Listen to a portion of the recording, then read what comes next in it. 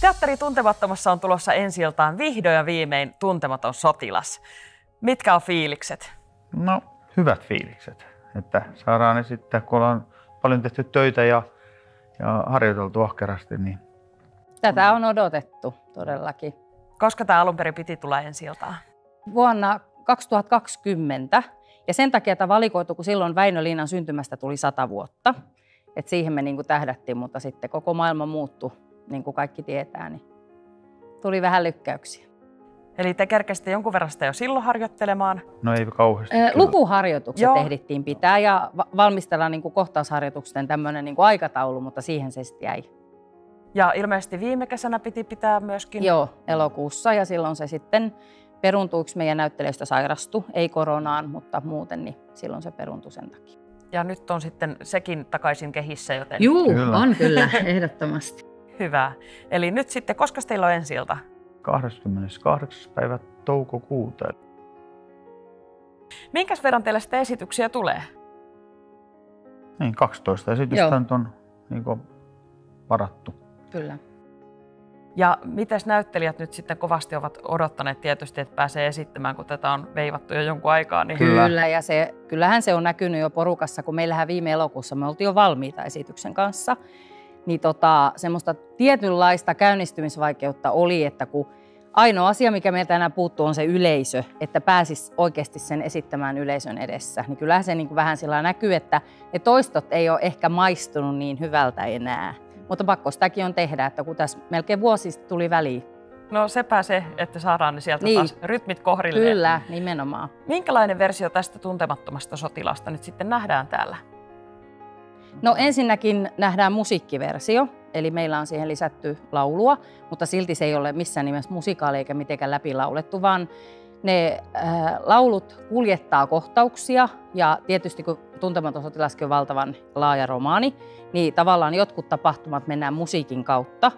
Ja esimerkiksi tätä Antero Rokan hahmoa ja hänen karjalaisuuttaan korostetaan musiikin kautta. Että meillä on tosi paljon niin kuin karjala-aiheista ja evakkoaiheista musiikkia.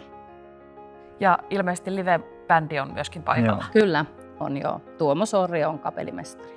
Kuulostaa hyvältä.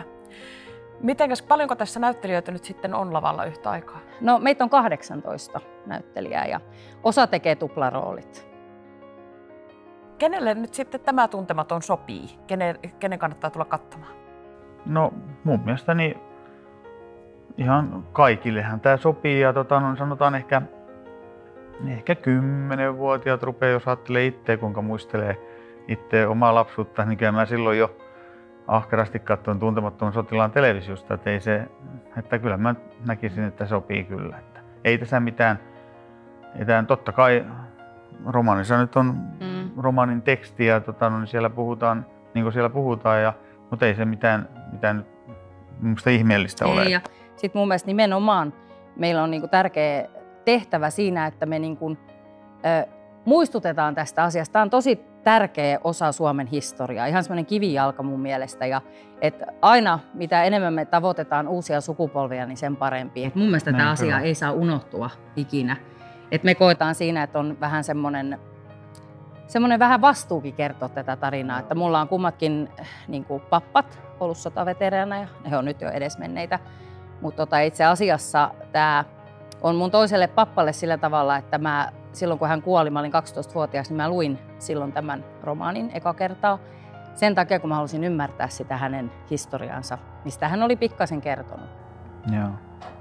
Joo ja tota, no, itsellä on taas on sillä äidin puolta, niin on karjalaistaustaa, niin tota, no, sillä sillä varsinkin tässä kun tulee näitä mm. kohtauksia, mikä liittyy siihen karjalaisuuteen, niin, tota, no, niin, niin se tota, tietysti on, on hyvinkin koskettavia sitten sillä että sitä kautta itselle, mm. mutta, mutta niin kuin Sari sanoi, niin, niin tämä on Suomen itsenäisyyden, niin kuin sanotaan, Suomen itsenäisyyden mm. historian semmoinen niin klassi, mm. klassikko, mikä, tota, no, niin, mikä, mikä pitäisi kaikkien nähdä. Mm. Ja, ja tosin tämä on niin erilainen kuin televisioversio. Joo, totta kai. Tämä on kirjasta teatteri. tehty. Joo, muutenkin siis, on, että, on ja muutenkin totta kai teatteri kertoo asiat eri tavoin. Mitä... Sari on sieltä kirjasta niitä No sotaromaanin pohjalta tämä on niinku dramatisoitu. Joo. Kyllä.